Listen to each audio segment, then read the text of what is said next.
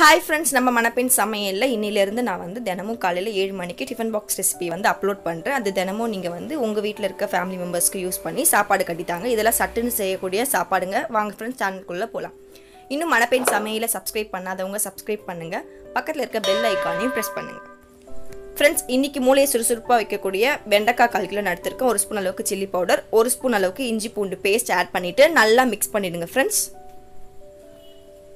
Mix பண்ணிவிட்டு தேவையான அளவு உப்பு போட்டுக்கோங்க.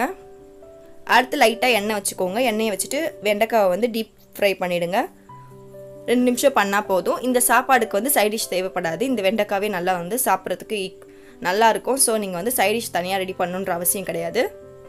இப்போ கடாயை வச்சுக்கோங்க. கடாயில் வந்து மூணு ஸ்பூன் அளவுக்கு எண்ணெய் விட்டுக்கோங்க. ஒரு ஸ்பூன் அளவுக்கு கடுகு உளுந்த பருப்பு போட்டுக்கோங்க. ரெண்டு ஸ்பூன் அளவுக்கு உளுந்த பருப்பு ஆட் பண்ணிக்கோங்க.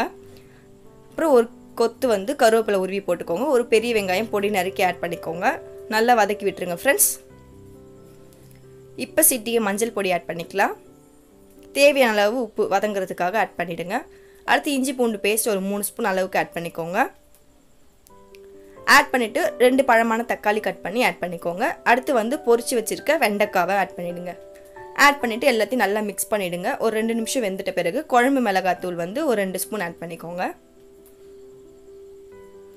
தண்ணி ஒரு கிளாஸ் அளவு வச்சுட்டு ஒரு அஞ்சு நிமிஷம் கொதிக்க விட்டிங்கன்னா உங்களுக்கு வந்து வெண்டைக்காய் கிரேவி வந்து ரெடி ஆகிடும் நல்லா நமக்கு இப்போ ரெடி ஆகிடுச்சு பாருங்கள் எவ்வளோ சூப்பராக ரெடி ஆகிருக்குன்னு பாருங்கள் இப்போ இதை நீங்கள் என்ன பண்ண போகிறீங்கனாக்கா நம்மளோட சாப்பாடை வடித்து ஆற வச்சுருப்பீங்க இல்லையா? டிஃபன் பாக்ஸுக்காக அதில் இந்த கிரேவியை போட்டு நீங்கள் என்ன பண்ணுறீங்கன்னா நல்லா வந்து கிளறிடுங்க.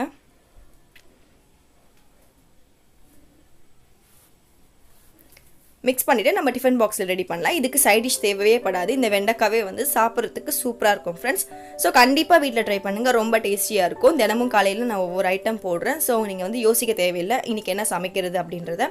இது எல்லாருக்குமே ரொம்ப ஃபேவரட்டாகவும் இருக்கும். ரொம்ப பிடிக்கவும் செய்யும் ஃப்ரெண்ட்ஸ் ஓகே ஃப்ரெண்ட்ஸ் இது வரைக்கும் சப்ஸ்கிரைப் பண்ணாதவங்க சப்ஸ்கிரைப் பண்ணுங்கள் பக்கத்தில் இருக்க பெல் ஐக்கானே ப்ரெஸ் பண்ணுங்கள் லைக் பண்ணுங்கள் ஃப்ரெண்ட்ஸ்